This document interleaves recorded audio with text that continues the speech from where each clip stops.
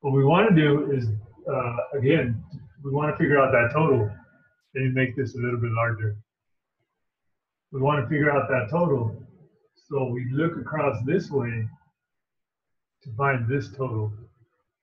Okay, so what we have to do, we have to take those numbers, and I'm just going to start from left to right. Take 4, add it to 2, add it to 6, and add it to 14. If we add all those up, we get our um, our total.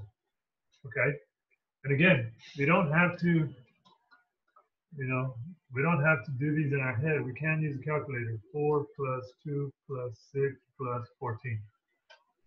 So we get 26 when we add those. Hopefully everybody saw that. Text box, boom, right here. 26. 26. Okay. And then we go to the next the next row, which is girls. Again, go all the way across, add the numbers that I come across to find the total.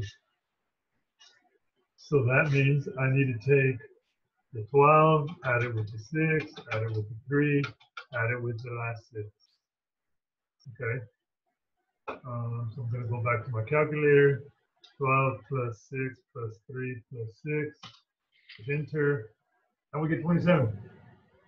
So 27 is the total there. Let me clean it up a little. That way you guys can see. Um, okay. So now we're done with the rows and we need to focus on the columns now. So we need to focus on adding those down. Luckily these numbers are kind of small. So I'm not going to pull my calculator out and I'm not going to rewrite them. I'm just going to put down here 4 plus 12 is 16. Okay.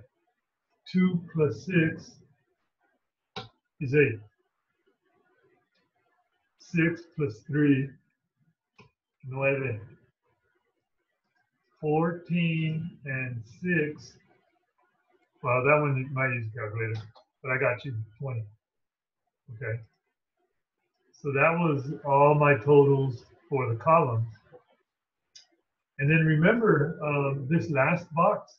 This last box is special. It's the two for one special because we can solve that guy two different ways and we get the same one answer. Okay. I'm going to take and add 26 and 27 because that's only two numbers. That's 53. Okay, so I know in here my total is 53. But you know what? I will show you. Let me uh, let me write the totals down on my paper. I'll show you that you get the same thing if you add uh, going across the bottom. Okay. So if we go across the bottom, I'm going to add these numbers. I'm going to show you we get 53. So we just got 53 with those two. Then my numbers across the bottom are 16, 8, 9, and 20.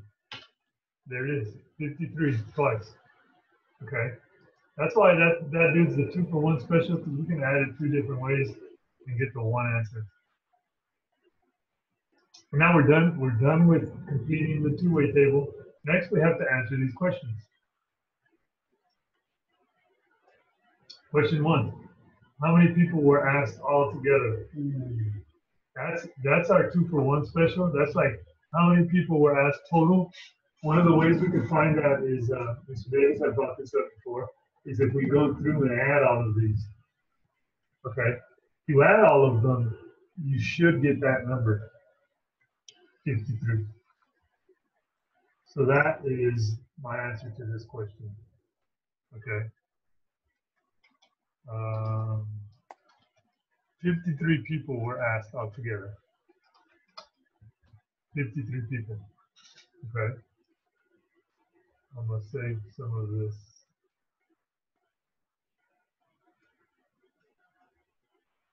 And then if we look at our next one, then the next one is how many people enjoyed PE the best? So here's here's PE, and then you have 14 and 6. Well, 14 is bigger than 6, so these this group enjoyed it the most. And if you look at this one, typical boys, boys enjoyed PE the most, right? Girls don't like to run, whatever they do. Well, I guess some of them do, because some of them did answer that. So boys, how many people enjoyed P? Oh, you know what? I, I answered that wrong. I answered that wrong. It's not asking which group liked it the most. It's just how many people enjoyed it the best. So here's my bad. Uh, four and six, 14 and six, 20 people enjoyed that the most. I don't know what I was thinking. 20 people. That's how many people enjoyed PE the most. Okay. Um, so let me erase that. And how many girls liked art? Okay, let's look. These, these are our two keywords, girls and art. So here's art, here's girls. They intersect there at six. Six girls liked art. Okay. Six girls. Oh, hold on. D. Six girls. All right, there it is. And well, we're down with number two.